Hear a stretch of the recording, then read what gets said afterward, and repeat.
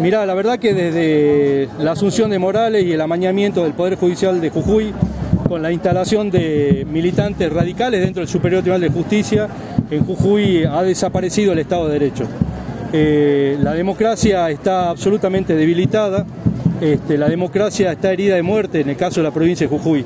No existe la división de poderes y esta manifestación de hoy, el 1F a nivel nacional, eh, es una manifestación popular donde la, mayor parte de la población ha dicho basta.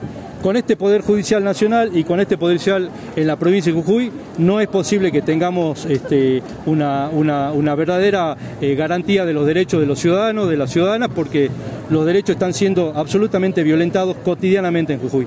Muy bien, muchas gracias. Gracias a ustedes. Bueno, uno de los que está participando de la marcha, pero en estos momentos continúa, eh, ya hicieron una pasada por el Ministerio Público de la Acusación, por la Plaza Belgrano, volvieron nuevamente a Casa de Gobierno. Muchos de los que participan de esta marcha que fue convocada a nivel nacional también tienen consignas provinciales. Es el caso de la ex diputada Alejandra Cejas. Todavía, a pesar de no estar en funciones, digamos. ¿Cuál es el camino a partir de esta marcha?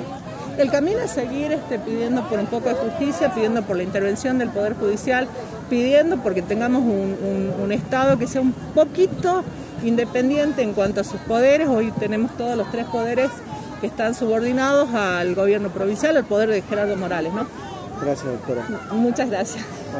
Eh, Cejas en más de una oportunidad ha cuestionado esta no independencia de los poderes, ¿no? Y una vez más, en el contexto de esta convocatoria a nivel nacional por la reforma judicial, también en Jujuy hay serios reparos con el accionar judicial.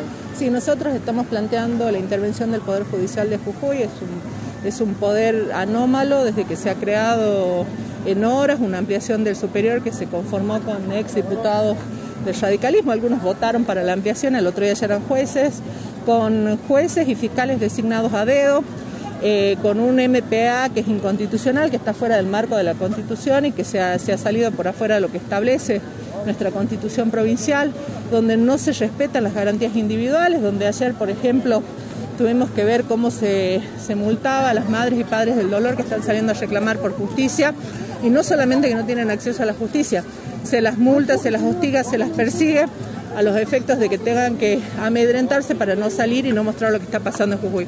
La verdad que es una situación eh, horrorosa la que vimos en Jujuy, tengo que decirlo, Jujuy no es la única provincia, Corrientes está igual, Mendoza está igual, justamente gobernada por el radicalismo. Y nos sumamos a la convocatoria nacional que la Corte Suprema no puede ser una Corte Suprema que, que responda a intereses que no son nacionales, que no responde a los verdaderos intereses del pueblo argentino.